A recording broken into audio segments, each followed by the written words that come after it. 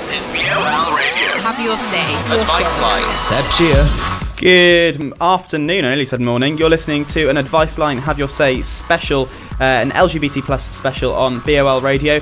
Coming up in the next 55 minutes, we are going to be going through all of uh, the, uh, well, all of what it's like to be LGBT. We're going to be joined by a panel, um, and we're also going to be turning some cameras on so you'll be able to see what we're getting up to as well. Uh, that'll be in about five minutes time. Well, in about three and a half minutes time, actually. We're going to have lots of great music coming up as well. Our first song we're going to be playing today is from Lady Gaga. It's called Born This Way. And after this, we'll have the panel and we'll turn the cameras on. You're listening to BOL Radio. It's 25 minutes past 12. My mama, baby, I was born this way. Hey, same DNA.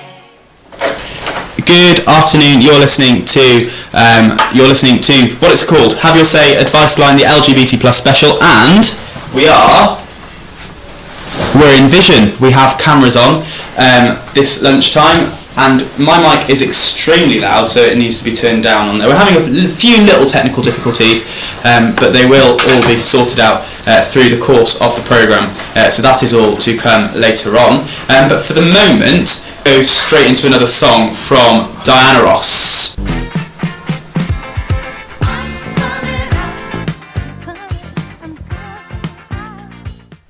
Diana Ross, I'm coming out on BOL Radio. Uh, that is the first of many um, awesome songs uh, that we're going to be playing this uh, afternoon. Um, and we have been joined in the studio by two of our panel members, and the camera will go to them now. And Owen, hello. Hello, Seb. And Delia, hello. You need to get a bit closer to your mic, love. Hello. Okay, so we'll be answering various questions uh, throughout the program, and the first topic that we're going to be focusing on is all about sort of questioning your sexuality, realizing that you're not straight, and coming out. Does that make sense? Mm-hmm. Brilliant. So we've uh, we all, we uh, sent out a little Google form to ask for various questions uh, from the general public and from students and staff in the school, and we've got quite a few of them to answer today. Uh, the first one comes from someone called Amelia, and it's quite simple. How did you know you were LGBT plus? Well, I say it's quite simple, um, but I don't know. Is it simple, Owen? Is it simple? Well, it took me kind of a while, to be honest. It's um, kind of difficult uh, being like told you are straight the whole, your whole life and kind of realizing that you are gay. But um, I th- I would say it was difficult, definitely. So h- how did you know that you? were How did I know? Uh, I didn't really know. I can't really remember it to be honest. It was kind of, Fancied boys. no, I had my first boyfriend. I think when I realized I was gay. That's how I knew, to be honest. Um, Delia, how did you know you were LGBT plus? Um, I realised that I fancied both girls and boys. Like I, there's no simpler way to say it. Really, just realised I like both. And uh, Declan has. I can just see Declan outside the door. Oh my so no matter and how how unprofessional, we are just going to let him come in and join in uh, mid link. yeah, you're late. You are slightly late, but that's fine. Um, it's my fault. Declan, how did you know you were LGBT plus? How did I know? Yeah. Um, I suppose realizing that there was a word for it, um, like greater education on it was how I realized. Um, uh, I knew from like a young age that I liked guys, but I didn't realize that it was a thing when I found out that there was this whole community of people. That's when I realized that I was LGBT. Um, brilliant. How did you get the confidence to saying it out loud and telling people? Were you scared of being judged? That's another question that we've received from somebody. Uh, that one's anonymous. Um, Did you say sing? Sing. s- saying it out loud. Oh. So, so how did you get the confidence to come out, Owen? How did I get the confidence to come out? Um, it was kind of through uh, my first boyfriend. He was kind of persuading me, and um, to tell my friends, I messaged them on text. I think uh, I told Delia as well at the time. Oh um, yeah, you did. on the on a group chat. Um, but that's how I told people, and I just told my parents face to face. To be honest, Um, were you scared of being judged? I was scared. I thought um, I wasn't the child they wanted me to be to grow up and have a wife and kids. It was kind of scary for me. But what what was their response? It was mixed, to be honest. My mum was fine, but my dad thought it was a choice and was kind of hard accepting it, so it was quite hard for me to uh, get on with him. And it still is now, kind of. Delia. Yeah. How did you get the confidence to come out? Oh right. Um. Um, I think well, when I first started realizing that I wasn't straight, um, I started to sort of go on the internet and stuff to look at um, what people were saying about it, like look at the gay community forums, um, etc. Like YouTube videos of people's opinions, and that sort of s- seeing other people in the world who had been in similar situations to me, um, sort of talk about their story and how they came out. That from, that gave me confidence, and because I was a I'm a naturally confident person anyway, so I in in that aspect I didn't find it too difficult, um, as it would have come quite naturally to me. So I just sort of listened to other people's stories, and that for me gave me the power to like be like, oh okay, hi, I'm not straight. Were you scared of being judged? Um, by by who? Like what? Who? Um, Any, anyone that you came yeah, out like I only recently came out to my mum very recently, so obviously the fact that I'd kept it from her from so long sort of shows that. Um, I think when I because I first came out to my friends, I wasn't afraid necessarily, but like some of my friends, because I didn't know what their narrative of it was. I wasn't quite sure how it was going to be taken, so I wouldn't say I was scared. I was just aware that the responses I would receive may not be like very savoury to me. I suppose I don't know. Declan, how did you get the confidence to say it out loud? Um, well, for a while, I was like, when I was curious um, about my sexuality, and I didn't realize that I was um, gay. I wasn't that like, I wasn't comfortable at all. Like, I was, I told people, but it just felt strange. But when I like finally realized that I was gay, um, it just kind of hit me that I was like, this is who I am, and I feel like I should express this to other people, and so they can understand me better, and I can feel like I can feel comfortable in who I am. Were you scared of being judged? Um, not really. I'm not like a super brave person, but my um, my thinking was that um, if people don't like it, they can get lost. I I don't have time uh, for people that don't accept me for who I am. Wonderful. Um, Heartfelt. I mean, personally, when I came out, I couldn't actually say it out loud. Um, a, a friend who I came out to said, "Seb, are you gay?" and that was how I came out. And if if that friend hadn't said that, then I don't know if I would actually be out, or whether I would have just chickened out in the last minute. I don't really know why. I was put in Um, a position like that as well, why I couldn't um, say it. But I mean, we just have to sort of thank thank God for the people around us, really, in some ways, um, and sort of thank our friends as well for being the awesome people that they are. And we're going to go into a song now. Uh, so this so- all of the songs today are specially picked. Uh, shout out to my friend Yes. Dav for helping me choose these. Um, so we're going to play a little song by ABBA. Um, and basically, Classic. Is, is this? it's, it's, Is it Does Your Mother Know? It is. Ah, Oh, You're favourite. out. It says that I'm out. Let's go into the song. Well, she does that. ABBA Does Your Mother Know on BOL Radio. Um, next Yes, up, we're does. moving on to uh, our next topic, which is sort of all about living as sort of a minority um, in a heteronormative society. Now, heteronormative society, if you don't know, i- a heteronormative society is basically um, just saying that we're all, everyone assumes that you're straight until you come out. Um, so, you've got three questions that have come in about this. The first one do you think there's too much sensationalizing of coming out uh, because straight people don't have to, or do you think it's something important that belongs to the LGBT plus community? That's anonymous. Declan, go. Um, I haven't personally seen many examples of um, like on TV or things people coming out in general, so I can't speak for sensationalism um, on this part. Um, what was the second part of your question? Sorry. Um, do you think it's something important that belongs to the LGBT plus community? um, coming out in Yeah. general. Um, I mean, in that sense, it sounds like it's a glorified thing that oh, everyone should come out. It's so fun. I mean, it's not really a positive. I mean, it can be a really positive experience, but I mean, like, it's not something that everyone wants to do. And like, oh, I'm really excited for my coming out. Like, it's just. Um, Who says that? Exactly. Like- so it's I don't know if I'd say like oh it it's a f- important thing that belongs to the LGBT community. Um, I mean it. It's it's the thing when you think of about LGBT community, you think of oh these people that have to come out, um, and that they. I mean, they shouldn't have to, you know. Um, but yeah, I suppose it does belong to the LGBT community. It just it's a strange way of wording it. Yeah, I think the I think where the question's coming from is that it is.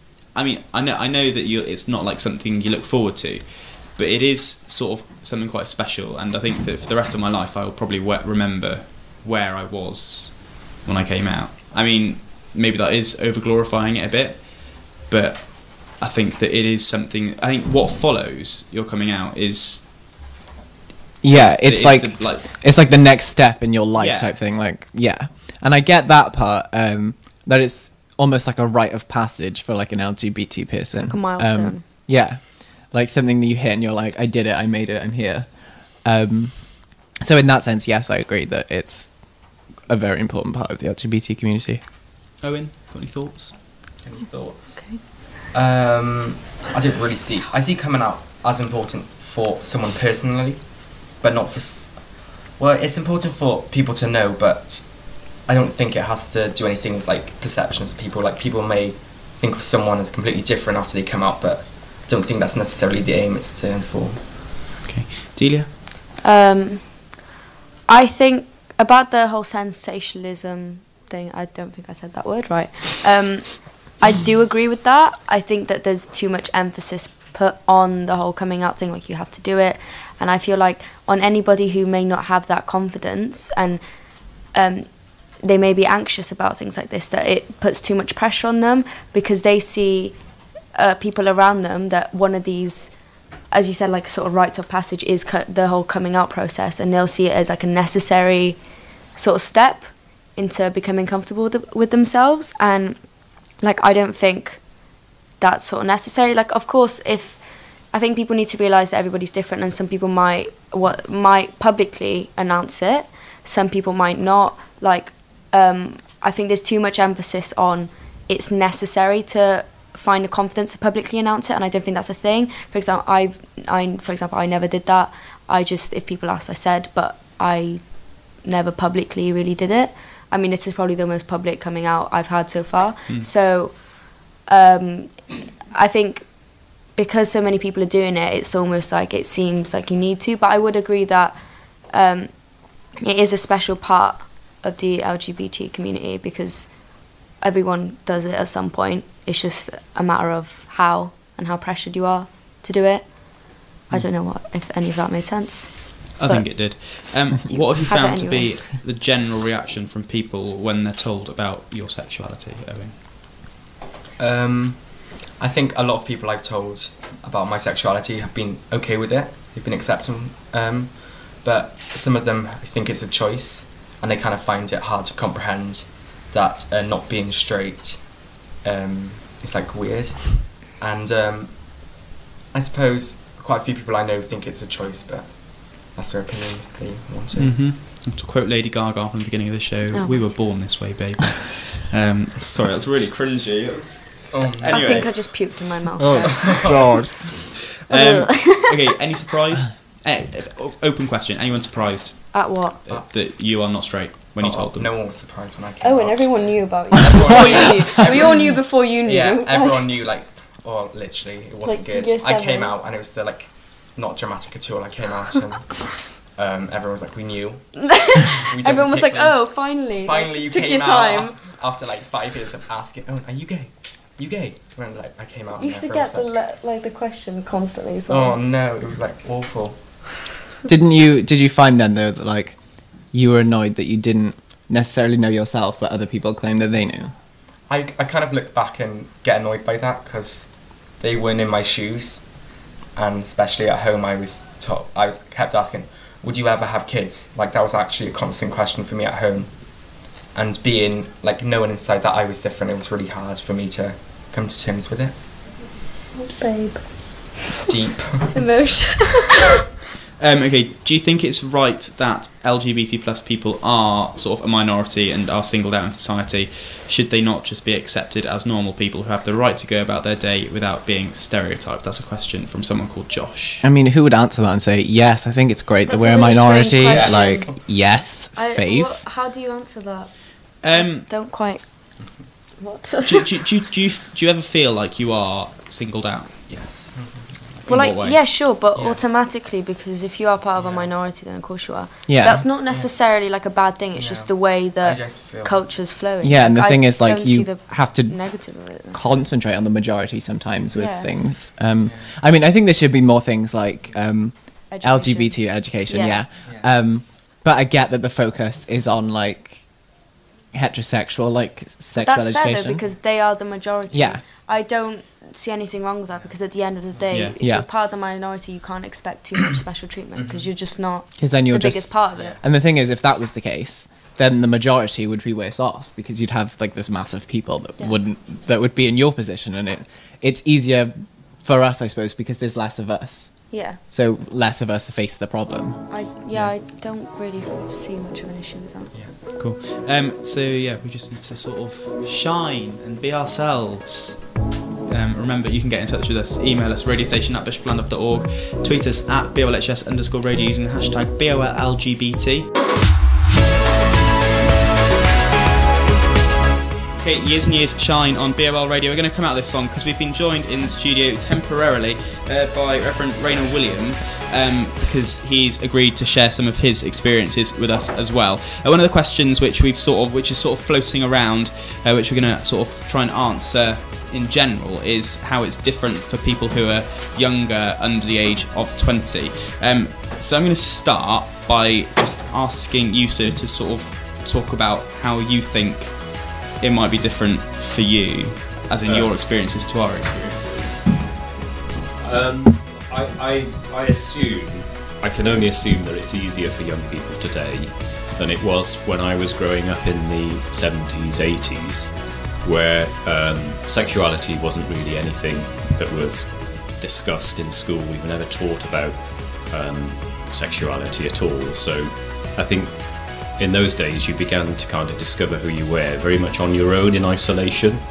Um, and I, I grew up in a really rural part of North Wales where the assumption was that everybody was straight.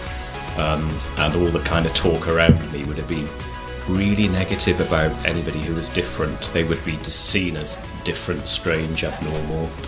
Um, and some really harsh things were said, I think, when I was growing up, which had the result, I think, of pushing most people deeply into the so called closet and not, not being able to acknowledge um, the normality of what they were feeling or having nobody to talk to. I think that was my experience. What effect do you think this had on you in the long term?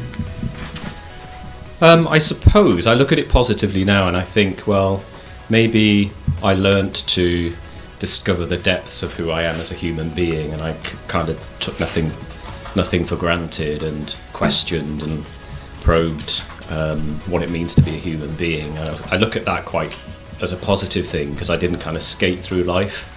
I struggled in my early years, but it meant I looked at things quite deeply, and I I see that as a very positive thing because I connect it to faith, which is looking at looking at life deeply and looking for meaning and purpose in it. So, but I think ultimately it's not a good place to be um, in isolation from other from other people, and to think there's something about you that you can't share. It's not healthy, um, and I think I feel. Oh, how do I feel? I think the moment one accepts and declares to other people that this is me, and uh, that brings, well, it brought me kind of healing, normality. Um, yeah, I'm waffling. I'm thinking too deep. I'm thinking rather than saying. Sorry. When when was that for you? Oh, um, right, relatively late in life. Um, when I was 29 and now I'm 50, so quite a long time ago. But what I worked with young people in university, I was a chaplain, and what I was struck by was young people came to talk to me about their sexuality and about being different, and I would say to them, You've just got to accept yourself. God loves you. And I kept on saying this to other people, and I thought, God, do I believe that for myself? So it was the courage of other, perversely, it was the courage of other young people in a university setting who accepted themselves and, and embraced that as an issue of God loving them that actually made me think, well, you've got to do that for yourself. And of course, at the time I was married and I actually had children, so it, it was a bit difficult. Um, we're just going to tie in with our next topic, um, which is all about homophobia. Um, generally, how easy is it? This is a question that's come in. Generally, how easy is it to live as an LGBT plus person, and how much discrimination do young people face in the community? Um, open to the floor. Ladies first. Oh dear.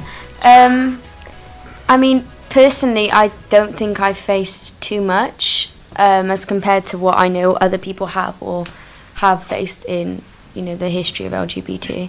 But um, I think it's always going to be a thing. People are always going to be afraid and have negative things to say of things that they may not understand or have much knowledge on. So I think automatically that's going to happen in any area, really. So, like I, when I used to receive like nasty comments, which in in fairness it wasn't. It's not been very often. Um, I never really took it to heart because I sort of understood that they just don't understand, they don't know, and one day they will. Um, and I think it's not as bad now as I think it has been in the past. Um, and that young people are a lot more accepting as a majority, and it's a lot easier to, I suppose, come out and be who you are when you're younger now, especially in this generation. I'd say it's a lot simpler. Yeah, I'd agree with that. Um, especially when I see, um, like, even personal experiences of um, of adults and things um, that have spoken out about it and like online and things like that. Um, talked about their experiences um, and how hard it was for them. And when you read up on it, like all of the um, the like even more heteronormative society um, back in the 20th century, um, I think even though we still have things like homophobia, I think it's still so much easier for us um, nowadays to come out and express ourselves. Um, Thanks last, to David Bowie. Last question before the news. Um, do the opinions of others cause big effect to your everyday life and mental stability? Try and keep it to a 20 second answer each. Um, right, quickly. Uh, no, no, they don't, because I think that if you have a negative opinion on uh, LGBT community members, you don't really deserve to be friends with me, you don't deserve to know me. So that's it. Gone out of my life. Dina? I forgot the question. Um, do the opinions of others cause big effect to your everyday life and mental stability? Um, no. There we go. Owen. No, not really. That's it. They used to, um, but now they don't because I just think to myself, well, if you have a problem with me, then actually that is your problem, it's not mine. Lovely. Thank you very much. Um, so I think we're going to say goodbye yes, to you, you sir. Now, much. thank you very Bye, much. sir. Bye. Thanks for popping in. Thank you very much. It is Thank you, they're not just mine. gone one o'clock, um, and it is time for the latest news, sport, and weather from BOL Radio Update this afternoon. The news is read by Roisin Jacobson and Bethan Downs. This is BOL Radio. We'll have more tomorrow. Thank you, uh, Roisin, and thank you, Bethan. Coming up, we'll be talking about school and getting through life, and we'll also be talking about a bit of fun stuff as well. Remember, you can get in touch with us. Email us at radiostation at bishopofllandaff.org, tweet us at BOLHS underscore radio using hashtag BOLLGBT. You can also leave a little comment under the uh, live video, because we are live videoing. bishopofllandaff.wordpress.com forward slash watch is where you need to be.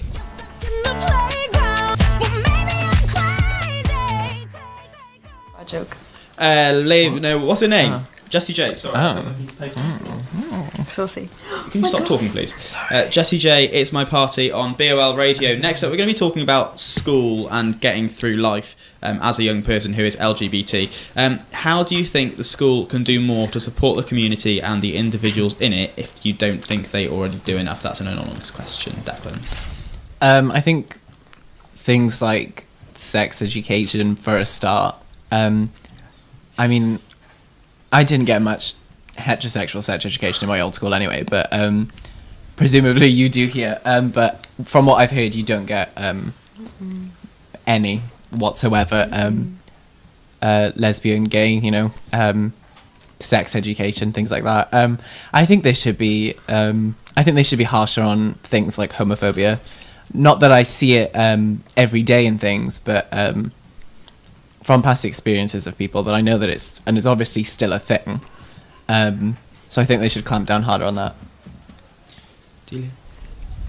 Education, education, education. Gen- Like just was- more, Yes. please. Yeah. I beg. Gen- in general, um, looking at research done by um, Stonewall in 2012, um, they released the school report 2012. They're about to release the school report 2017. Um, and in schools where there isn't that much um, education about non-heterosexual relationships uh, and sex in those non-heterosexual relationships, then homophobia has higher rates there. course Um, it it also has higher rates in faith schools in general. Mhm. Um, do you think that that's? Do you think that that occurs here? No. Like, do you mean like with? f- Do, uh, do, do, do, yeah, do you think that people discriminate against people who are LGBT plus because uh, they believe that it's wrong according to their faith? Um, I think I have once in this school. Um, specifically, um, she like quoted the Bible and said, "This is wrong." Um, and I said, "I don't read the Bible, so I don't really care." I mean, personally, I think that um, this school is doesn't really fall into that bracket because um, the person who leads on the faith uh, is Mhm. Reverend Rayner Williams, and To he's have gay. like a gay figurehead. yeah, yeah. and Works yeah. pretty well. Um, what would you like? Uh, straight and I don't know how to say this word. Cisgenders is that Cisgender. Cisgender. What's that? cisgender? Like That's your, just the gender you're born with. yeah, Oh. Born Um, as. Born. Born uh, born. people. born. Yeah, what, would- what, yeah. What would you like them to do to help? Just the whole ally thing. Like, be educated as Yes. well. yeah. Definitely. Like I Um, don't need you to like ask me continuously like if I'm talking to someone or like if someone's like being homophobic. I just want you to be like a friend that isn't like as long as you're not against me, I don't really care. Yeah, I mean, just be supportive just as you would of anybody else. Because I don't go up to straight people and be like, "Oh my god, I really like support you dating a woman, or I really support you like dating a man." I don't. Hi, I'm I don't so need happy that. that. you identify with your own Yeah. gender. Yeah. Treat us exactly the same because it is, of course, the same love. Sorry. I, Oh, Seb, Enough please said. leave. Get in Get in touch with us. Watch us online, bishopofllandaff.wordpress.com forward slash watch. You can watch this video live or watch it back later on. Why not? Um, right, okay. Topic five the fun stuff. What's the best thing you find about. It's just a poorly named title. I apologize. Okay. What's the best thing you find about being in the LGBT plus community? I can't say what I wanted to say. Like, I'm Um, not allowed. okay, well, keeping it PG thirteen as good old America says. Um, I suppose like dating someone that like understands you, like Well, they would. under- They'd be gay. no, but? I mean like if when you think about a guy dating a girl, stereotypically you think like oh the guy like like really likes sport and then like oh the woman likes shopping and it's like yeah whatever blah blah blah. But and like obviously you still have certain like differences in a, like a gay relationship. Um, but at the same time you have like a guy that understands your guy issues, which Yeah, I yeah, think you lack in like Yeah. a straight relationship. Yeah, no, I I relate to that. It's interesting. It's like your best friend, but Yeah. it's like different. If you get Yeah. me. So it's nice. They get the Mm-hmm. girl stuff. Girl stuff. Never. What? What? What was the question? Again? Um, what's the best thing you find about being in the LGBT plus community? I think the people, because you have such a, like a community spirit, don't you? Yeah. Like um, you have pride, and you have all of the events like that. Like um, I've been to a couple of like um, talks. which is kind of like feels really inclusive to be part of the LGBT plus community. Mm-hmm. Um, final question: If you had one bit of advice that you would give to someone who is questioning their sexuality or trying to come out, or uh, not sure if they were straight or not straight, what would it be? Declan? Don't be afraid. You are who you are. You can't change that. Whether you, if you're if you're questioning and you don't think you're straight, um, then just be happy with that and um, don't feel like you have to be straight to fit in, or that you you can't question because you you don't know who you are yet. I mean, it's a journey. Um, even though I identify as gay, I'm still finding out more about myself as I go along through life. So you know, be happy with who you are, and if it takes time, let it take time. Delia. Um, I wholeheartedly agree. That was very emotional. Um, I think um, there's no need to label it if you don't want to, but Oh, I just swallowed my gum. Um, if you do, if you do, um, if you do, um, feel like you. I'm sorry. Can we do me in a minute, please? Owen, Okay. Well, uh, so what? What, What one bit of advice? advice would you give? Um, take your time, basically. Um, like watch as many coming out videos as you like. Like just like take. It took me three years to come out to everyone, so just take your time. Delia, you ready yet? cool. We'll we'll we'll tweet your bit of advice just then from at bolhs underscore radio. on. Okay, I think the I'm- hashtag I'm already. BOL LGBT. That's basically all we've got time for. Uh, thank you, Declan, for joining us. Thank you, Delia, for joining us. Thank you, Owen, for joining us. Um, Yes, but not remember, the conversation can still continue um, on at BOLHS underscore radio on Twitter using the hashtag BOLLGBT. If you've got any questions, uh, send us an email, radio station at bishopofllandaff.org. We'll also have a documentary out um, on the Monday, uh, documentary film, on the Monday after half term, Monday the the 7th of February. Your mic's on, Declan.